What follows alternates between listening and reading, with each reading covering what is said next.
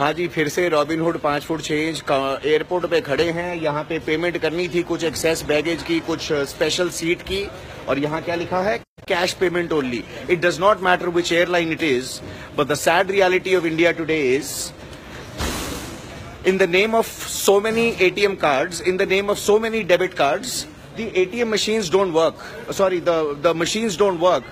So if i had only a debit card in new age digital rock solid, E India I would not be able to travel is this the digital India prime minister Modi that we were dreaming of when we did नोटबंदी when we came up with GST when now we are talking about F R D I bills क्या सोच के हम digital India बनाना चाहते हैं कि जब counter पे हम एयरपोर्ट पे जाते हैं तो यहाँ फिर से दिखा देता हूँ दर्शकों को क्या लिखा है।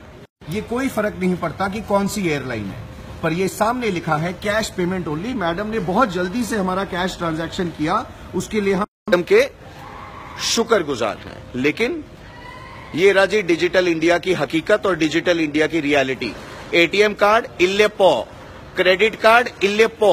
पेटीएम इल्ले पो। कैश चलता है सर यहाँ पे। जो वित्त मंत्री है ना अरुण जेटली जी, उनको ये वीडियो दिखा देना जाके कि सर ये भारत की रियलिटी है और ये अनएडिटेड वीडियो है। और हम फिर से कह रहे हैं, ये कोई फ़र्क नहीं पड़ता कि हम कौन सी एयरलाइन से जा रहे हैं। ये भारत में डिजिटल इंडिया की रियलिटी दिखा रहे हैं हम आपको। अब अब वीडियो का क्या करना है? आपको पता ना, पार्लियामेंट तक ये वीडियो कैसा पहुंचेगा? हाँ मालूम है ना आप सबको?